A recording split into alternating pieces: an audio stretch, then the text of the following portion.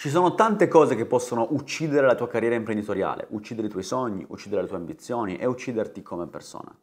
Ma ce n'è una nello specifico che ti dirò alla fine di questo video che davvero devi evitare. La realtà è che se tu volessi, tu potresti fare più soldi, potresti vivere meglio e soprattutto dovresti volere più soldi con uno scopo nobile. Per cosa guadagni questi soldi?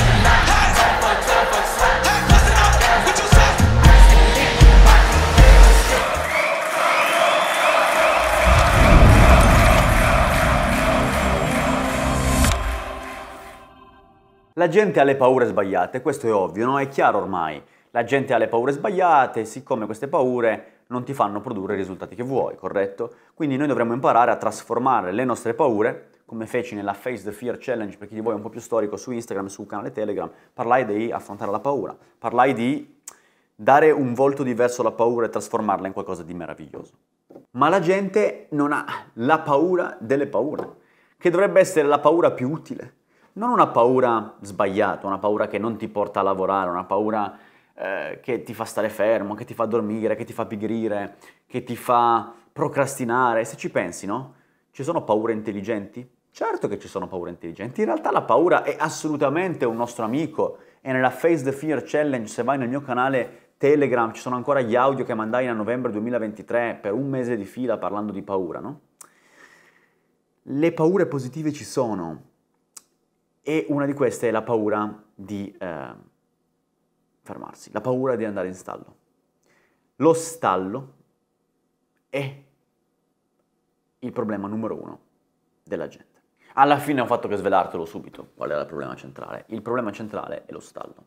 La gente ha paura di tante cose, ma non ha paura di andare in stallo, di andare fermo, di andare piano, di andare lento, di andare, no? Dove è uscito dal momentum. Tante persone hanno la tendenza a chiedermi come faccio a stare in momentum, a stare in flow, a stare in quello stato di flow, di flusso, quindi, no? Come faccio? E di fondo la risposta è molto semplice. Non ci devi uscire. Non è che come ci fai a rientrare, come faccio a entrarci, come faccio a salirci, come faccio a montarlo. Ascoltami, fratello, sorella. Non ci devi uscire dal momentum. Questa è la chiave la gente ha, vedi, le paure sbagliate e i ragionamenti sbagliati. Tu vuoi costruirti una vita in cui il flow è il mood centrale, è l'approccio unico che tu conosci. Quando quindi non sei in flow, è sbagliato. Quindi la tua normalità dovrebbe essere stare in flow, che vuol dire stare sotto pressione, stare con tante cose da fare, stare concentrato, stare in focus. Quello dovrebbe essere il tuo stadio abituale. Perché quando tu sei in motion, quindi in movimento, lì le cose succedono. Tante persone si chiedono come fanno ad avere idee in uno stato di non flow, fuori dal momentum. Se tu sei fuori dal momentum, sei in delle frequenze e in delle vibrazioni che non ti danno idee, non ti danno soluzioni ai tuoi problemi, non ti danno energia, non ti danno visione non ti danno una pianificazione corretta. Quindi la chiave è stare in flow, stare in quello stato di energia, di uh, linearità, allineamento continuo in cui tu quasi non sei stanco.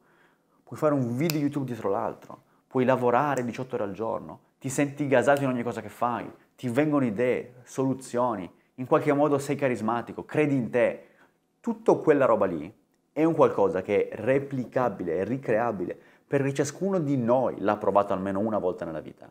Quindi il flow ha delle regole precise e ne parleremo in altri video. Oggi lo scopo è farti capire qual è la cosa che tu puoi evitare e vuoi evitare più di tutte, che è lo stallo.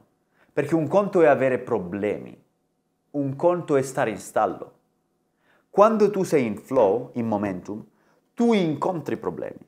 Ma siccome sei in stato di flow, il problema non è un problema ma è una soluzione.